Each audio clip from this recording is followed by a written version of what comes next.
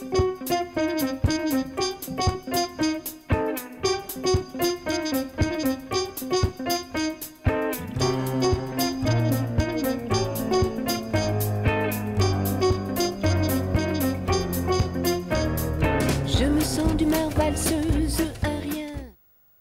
A tomar de nuevo nuestra misión de conocimiento de enfermedades y sistemas de prevención. Hoy vamos a hablar en, concreto de una enfermedad relativamente conocida, que son las alergias alimentarias. Estas alergias alimentarias se confunden en ocasiones con otro tipo de enfermedades, otro tipo de sufrimiento, que se trata de las intolerancias. Vamos a, vamos a ver las diferencias que existen entre el padecimiento de una determinada enfermedad y la intolerancia a una determinada sustancia alimentaria. de este tema vamos a hablar hoy con un gran conocedor que ya nos acompaña en otros programas de eh, la especialidad de alergología y vamos a hablar con don Jesús eh, Jurado Palomo en concreto de estas alergias alimentarias. Como siempre vamos a empezar eh, con esas noticias que creo que son interesantes desde el punto de vista de conocer determinadas patologías y determinados tratamientos que se estén realizando en otros países. Empezamos.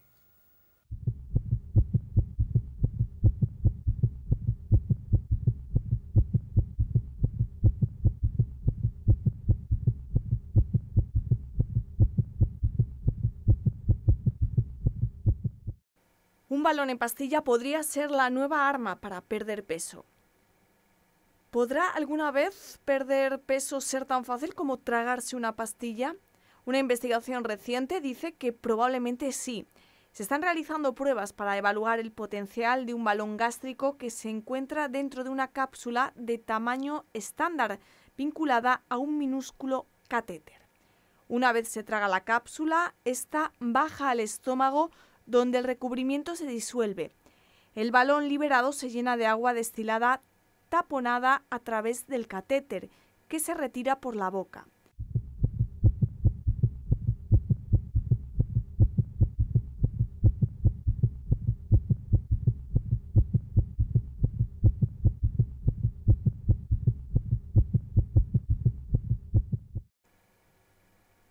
A propósito de una alarma poco justificada, ¿Cuánto de peligroso es el consumo de carne? Ante el revuelo causado a raíz de la última nota de prensa de la Agencia Internacional de Investigación en Cáncer relativa al consumo de carne procesada, la Organización Mundial de la Salud publicaba el 29 de octubre del 2015 una nueva nota aclaratoria. El organismo recuerda que no ha pedido a la población dejar de comer este tipo de carne, sino que informa que disminuir el consumo puede reducir el riesgo de cáncer colorectal.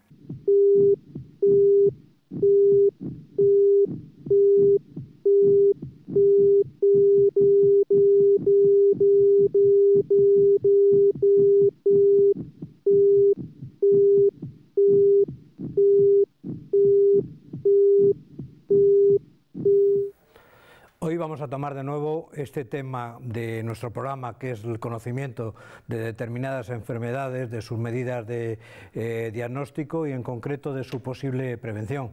Vamos a hablar hoy de un tema muy interesante desde el punto de vista alimentario, pues vamos a hablar de las alergias alimentarias en concreto.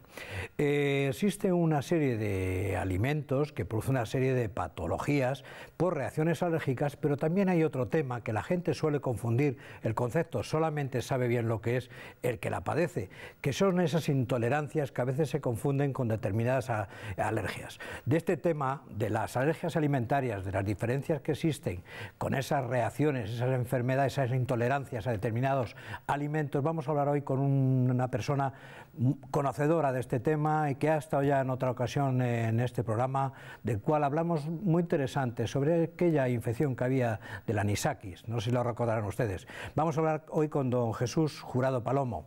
Es especialista de algología y miembro de la Sociedad Española de Alergia e Inmunología. Eh, don Jesús, ¿me permite usted que le tute? Naturalmente, así no se nos pasa el miedo escénico del plato. Muy bien, pues muchas gracias Jesús. Encantado de que estés aquí de nuevo en mi programa. Eh, sé que has estado de vacaciones por nuestra tierra, es mi paisano, aprovecho para decirlo. Y, y yo hace mucho que no voy, pero tengo ganas de ir por allí, a ver si... El Valle de los Pedroches siempre será bien recibido de nuevo. Muy bonito, muy bonito es. Eh, Jesús, vamos a hablar en concreto de esas enfermedades que se confunden muy fácilmente, que son las intolerancias con esas enfermedades que son enfermedades como tales, reales. De eso quiero que me expliques, ¿en qué consiste la alergia alimentaria? Bien, hay eh, diferentes tipos de patologías que son ocasionadas por la ingestión de los alimentos. Eh, normalmente la gente de la calle mm, suele intercambiar los términos de alergia y de intolerancia con bastante frecuencia y no siempre es acertado.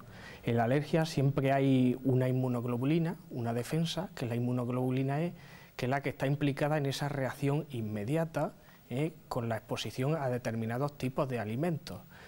¿Cuándo existe una intolerancia? Pues cuando no está implicada esa inmunoglobulina E no hay nada mejor que explicarlo con dos ejemplos, que así la gente lo entiende mucho mejor. Basta ya de tecnicismos médicos, vamos a solucionarle a la gente y a diferenciarle claramente lo que es una alergia de una intolerancia. Habríamos escuchado el término de intolerancia a la lactosa. Bien, pues la intolerancia a la lactosa, la lactosa como tal es un azúcar, es un hidrato de carbono. No está implicada la inmunoglobulina E y el paciente cuando la toma sufre pequeños despeños diarreicos. Sin embargo, existe el término de la alergia alergia a las proteínas de la leche de vaca, como esos niños, después de beber la leche, le aparece una erupción roja, perioral, náuseas, vómitos, diarrea incluso anafilaxia, oye, grados de alergia que pueden comprometer la vida. O sea que realmente entonces tenemos que diferenciar a lo que estás diciendo, pues esto creo que es un tema muy interesante, ver la diferencia que existe entre una alergia como tal y una intolerancia. O la intolerancia, como su propio nombre indica, es que el organismo no acepta esa determinada sustancia, mientras que la reacción alérgica es que el organismo reacciona como en contra de, de esa determinada alimentación, ¿verdad? Por así explicarlo, para la gente de la calle, sí. La enfermedad más frecuente de intolerancia alimentaria que hay ahora mismo en la calle es la enfermedad celíaca. La intolerancia al gluten. Conocido, muy conocido, efectivamente. Es una, era una de las preguntas que te iba a hacer yo, porque hay muchísimas personas que presentan una intolerancia al gluten y como tal sufren de una determinada enfermedad que tiene un determinado nombre, que es la enfermedad celíaca, ¿no? Cuéntanos qué consiste eso. La enfermedad celíaca es una reacción inmunológica no alérgica que está eh, mediada por unos linfocitos que son completamente diferentes a los de la alergia, son unas células de la sangre. Atacan a una proteína eh, que está en los cereales con gluten, trigo, avena, cebada, centeno, sin embargo el arroz y el maíz no lo lleva. Existe otro cuadro que es la alergia a las harinas de, de los cereales. Que es distinto. Que es distinto. Nosotros tenemos pacientes que incluso pueden ser alérgicos a las harinas del maíz y a la harina del arroz. Ahí está mediada la inmunoglobulina E. Incluso hay un tipo de alergia, digamos que muy extraña para quien no la padece, que es la anafilasia inducida eh, por ejercicio físico. Gente que corre, realiza ejercicio físico y no padece anafilaxia, que es una reacción alérgica comprometedora para la vida. es una reacción alérgica al máximo, cuando ya tiene complicaciones respiratorias, lo digo para la gente. Respiratorias, cardiovasculares. y demás. Cuando hacen ejercicio físico de forma aislada no suelen padecer este tipo de anafilasia, de reacción alérgica grave.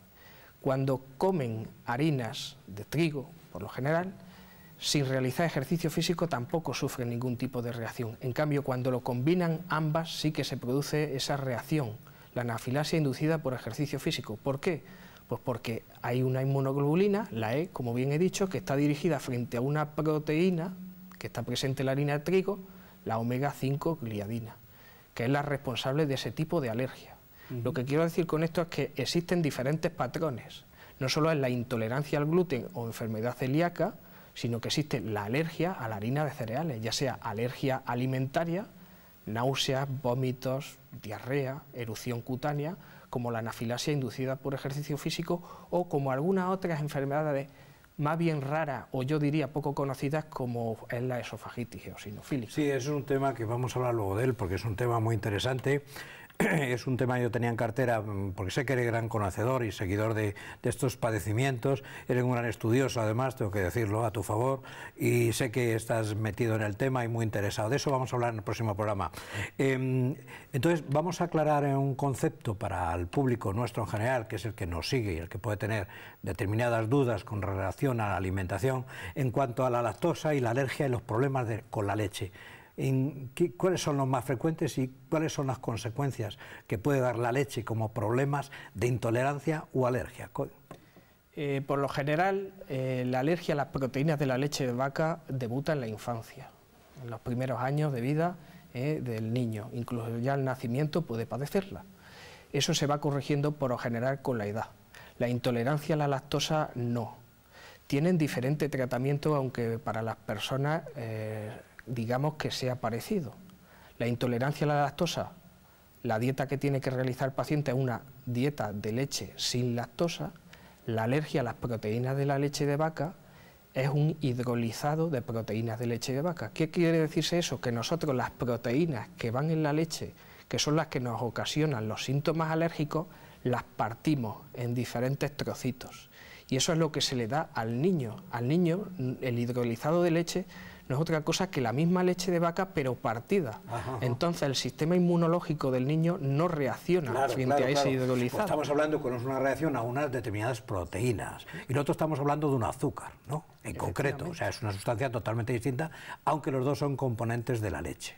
Entonces, esa es la diferencia en concreto para, para entender lo que es una alergia a esa leche y lo que sería un problema de intolerancia. El tratamiento sería diferente ¿eh? realmente en el tratamiento de la reacción de la intolerancia a la lactosa, bueno, se deja evolucionar dentro de lo que quepa, el despeño diarreico, pero el tratamiento de la alergia a las proteínas de la leche de vaca es un tratamiento específico. Si es una anafilasia, el tratamiento de elección es la adrenalina, adrenalina intramuscular, pero luego también existe otros tratamientos que hay que tratar esa reacción con antihistamínicos, con glucocorticoides, a pesar de que tenga mala fama los corticoides, cuando son necesarios hay que utilizarlos. Eh, yo siempre digo que las medicinas ni son ácidas ni dulces, ni amarillas ni verdes, ni malas ni buenas, son necesarias, lógicamente. Cuando nos dan un, cuando acabamos la carrera y nos dan un bolígrafo, nos lo dan para escribir, no para matar, ¿no, Jesús? ¿No crees? Había un profesor antiguo mío en la Universidad de Córdoba, en la Facultad de Medicina, que cuando salíamos de la asignatura decía, tenéis como 007 licencia para matar, pero que sepáis que también tenéis la licencia para curar y para sanar. Correcto, muy bien, muy bonito. Mm, esto ha traído consigo, lógicamente, hoy se conoce mucho mejor los pacientes celíacos, un problema que anteriormente era difícil de saber quién tenía una celiaquía, quién podía eh, tomar determinadas sustancias. Todo esto ha traído a una nueva legislación actual muy reciente con relación a la Comunidad Europea también, en concreto, tengo entendido. De tal manera que ahora uno hay una serie de alimentos que como tienen ese tipo de complicaciones desde el punto y hora de enfermedad o padecimiento alérgico, deben de llevar un determinado etiquetado. ¿no? Háblanos de en qué consiste ese etiquetado y qué medidas o qué es lo que debemos de mirar nosotros si padecemos una determinadas enfermedades en la etiqueta para que nos dé una pista. Bien, eh, en cuanto al tema de la legislación, eh, quizás la regla más importante que hay en estos momentos es un reglamento de la Unión Europea, del Consejo Europeo, que eh, se publicó en el 2011, pero que no entró en vigor hasta el 13 de diciembre del año 2014, que era el del correcto etiquetado de los alimentos, ¿eh? no solo los que se venden en los supermercados, sino también en la carta de los bares, de la hostelería, donde aparecen 14 grupos alimentarios que tienen que estar recogidos obligatoriamente, sí, con algunas salvedades. Decir que esa legislación se va poniendo en marcha de forma sucesiva. En abril del 2015 eh, se ha ampliado al origen de las carnes de los animales que han sido sacrificados en la Unión Europea tiene que reflejar el país. Incluso a finales del 2016, en diciembre, va a haber un nuevo avance, que es poner la tabla nutricional en contenido en sal, en hidratos de carbono, en proteínas, en ácidos grasos. ¿eh? Eso es lo que está por venir en diciembre. Pero nosotros lo que tenemos que darnos cuenta... En diciembre del que hemos entrado. En diciembre del 2016, sí, está en continua evolución. Digamos que es una legislación que se aprobó como reglamento en el año 2011 y de forma progresiva se van cumpliendo ciertos ciertos plazos. De momento llevamos los dos primeros plazos. Pero decir eh, a, a nuestros telespectadores que va a seguir en diciembre de 2016. Nosotros contaremos con la tabla nutricional. Ahora mismo a nosotros nos interesa el tema de la alergia alimentaria. Hay 14 grupos de alimentos. ¿Cuáles son esos, alimentos? Existe el pescado, pero decir, por ejemplo, que en cuanto al pescado están excluidas las gelatinas de pescado que se utilizan en los complejos vitamínicos, en el vino, en la cerveza. ¿eh?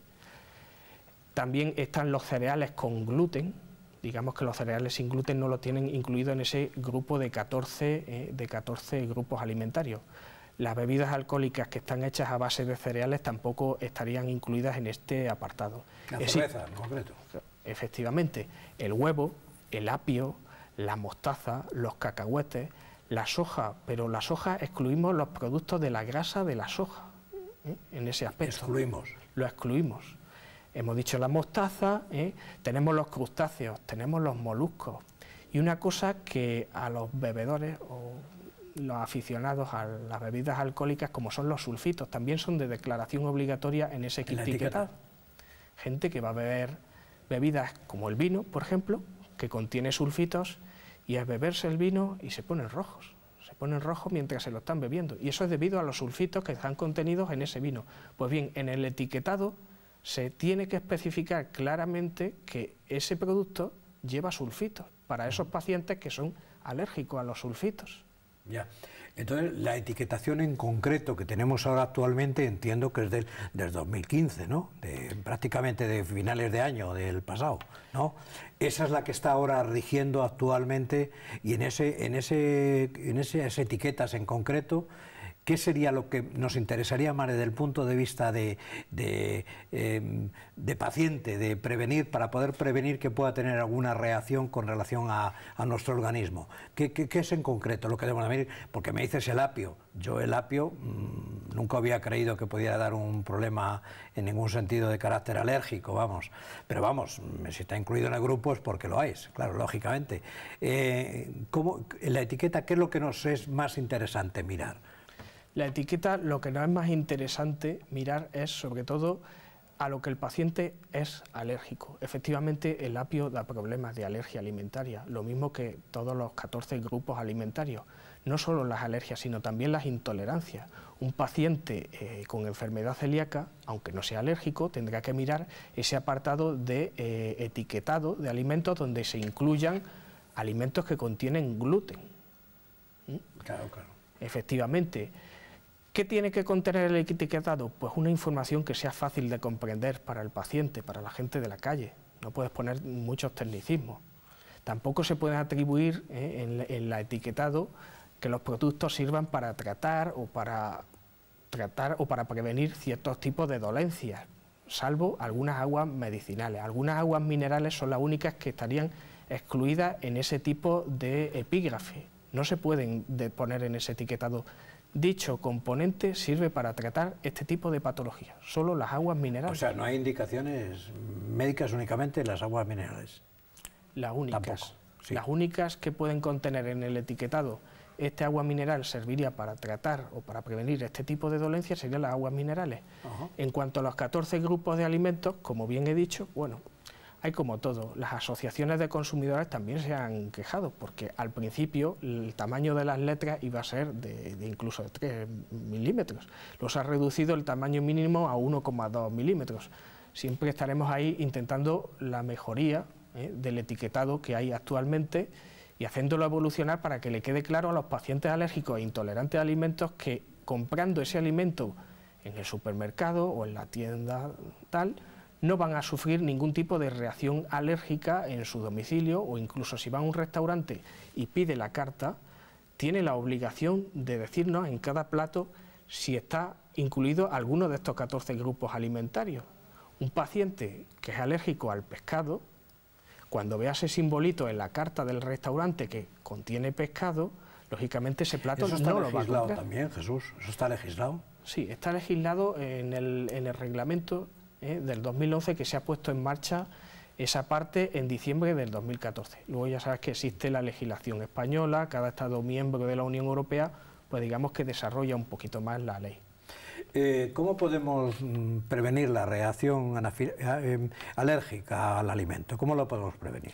Pues la mejor prevención es realmente el no tomarlo. ¿eh? No tomándolo no vas a sufrir ningún tipo de reacción. Otra cosa son el puede contener trazas. ¿eh? El puede contener trazas, yo pongo un ejemplo, todos los pacientes me llegan a la consulta, es que el chocolate me dice que puede contener trazas de frutos secos y yo soy alérgico a los frutos secos. Digamos que es una norma que utiliza la industria alimentaria para protegerse. Por ejemplo, tenemos una máquina que está fabricando chocolate, sin frutos secos, y en la misma fábrica al lado pues hay una máquina que fabrica el chocolate con almendras. Entonces, para cubrirnos dentro de lo que quepa... ¿eh? Puede haber trazas. Puede haber trazas. ¿Llevará o no las llevará?